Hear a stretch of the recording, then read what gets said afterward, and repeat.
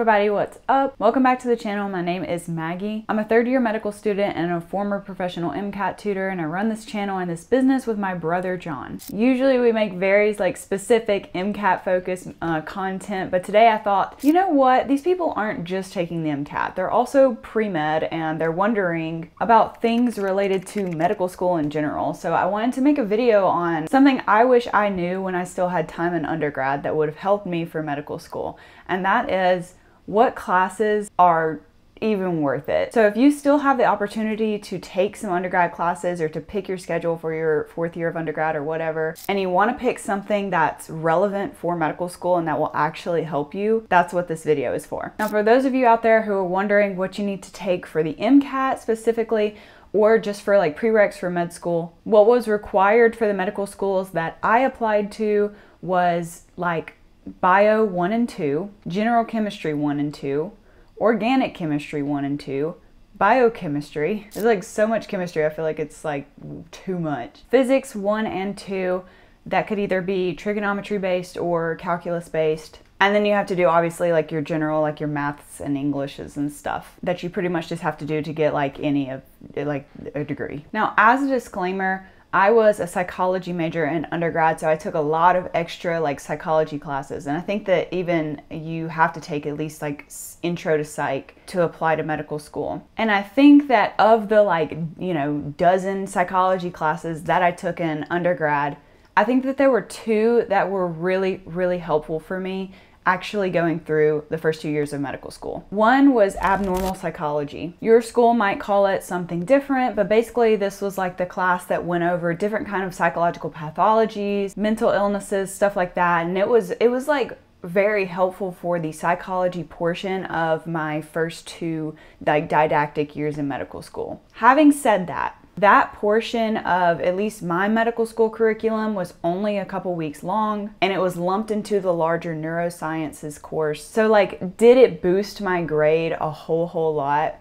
Maybe not, but it just gave me a little bit of a breather when we were coming across material that I already had in my back pocket from undergrad. So I liked that class. I'm not saying I recommend it to everybody, but for those psychology majors out there or other people who are just looking for maybe a, kind of a fun elective, if you have the option to take that, might be a good one. The next class that I took uh, for my psychology curriculum that I thought was really helpful was a research methods class. This class was painful to get through because basically it just taught us how to like read, interpret, and write research and that's not the most fun thing that I did in undergrad. However, it has been like so helpful. In medical school, a lot of people end up doing research. I'm doing research, John's doing research, and having some literacy in how to read and write good manuscripts is like incredibly helpful. So if you have the option to take, you know, a stats class or a research class or something else, maybe choose the stats or the research class because it'll actually really help you down the road in medical school. The next class that I took that I thought was really helpful was not part of my psychology curriculum. I took anatomy.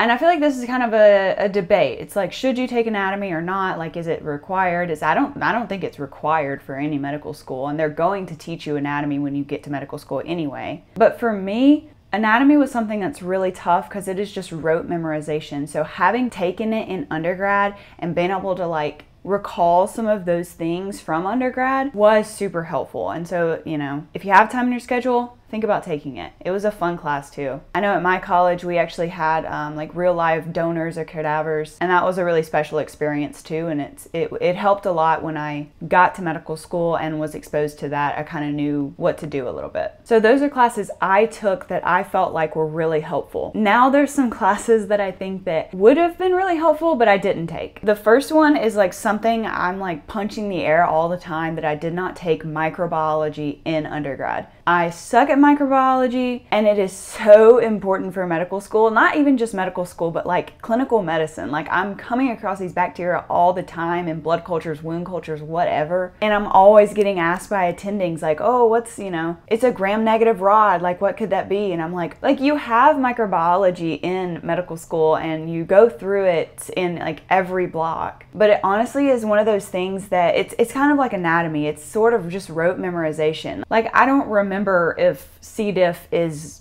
gram negative or gram positive. Like I'm having to like continuously reteach myself these things and it, it ends up being really important when you go on you learn about like antibiotics because these antibiotics are all only effective for certain kinds of bacteria and it'd be really nice to know okay if I have this certain kind of bacteria and I know that this antibiotic covers gram positive cocci that matches. You know, it, I just, I really wish I would have taken microbiology in undergrad. The next one that I didn't take, I did not take any immunology classes in undergrad, and I'm pretty sure that mm, there's some colleges that like don't have immunology programs. Like the college I went to actually had a whole immunology major, and one of my good friends was an immunology major, and he's like, a whiz kid now. And when I came into medical school, I was the first time I'd ever even like heard of the word cytokine. And so it just, it would have been really helpful to kind of know a little bit more about immunology going into medical school. So if you have that option, I'd think about taking it. That's another one of those things that's like really clinically relevant too. Especially with all the new biologic medications and everything that are coming out. A lot of them like relate back to like interleukins and, and stuff like that. So immunology, could be key. Another thing that a lot of students uh, took advantage of was uh, neuroscience courses in undergrad. I know that at the college I went to, like neuroscience was a huge major, and a lot of students that were neuroscience majors kind of shuttled into medical school. I don't know. This may be a hot take. I don't know how well those neuroscience courses really translated to medical school. They probably did and they really helped for like the neuroscience portion of my medical school, but at the same time, it's not like microbiology or immunology in that those kind of domains span across every organ system. Neuroscience is obviously very focused on neuroscience and it's kind of like the psychology class I was talking about before.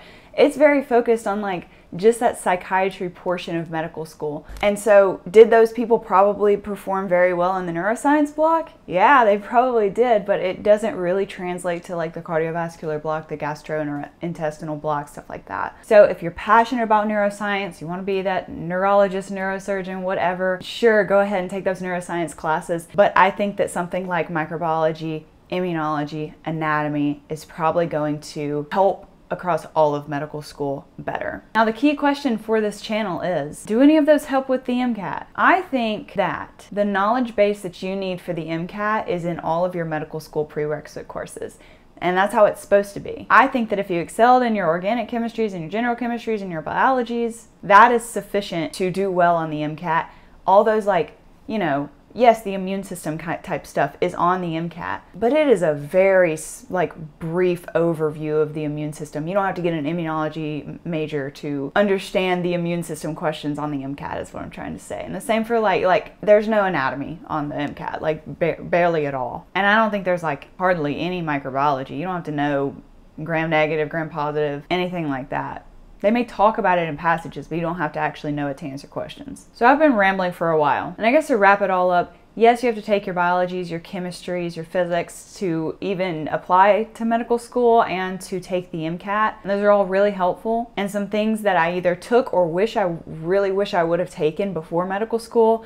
Probably the top, like the heavy hitters are microbiology, anatomy, some sort of immunology class. And if you have the chance to take like a research class, research literacy, something like that, that's really helpful. Kind of for medical school, like grades wise, but also for like the research you get into once you get into medical school or that you may already be doing. But all right, guys, short video today, but I hope that it was helpful. Sometimes me and John like to do videos that are sort of adjacent to the MCAT and more more relevant for like pre-med students and stuff like that or even people in medical school. So let us know if you like this kind of content or want to see more of it. Hit like and subscribe, and I will see you guys in the next video.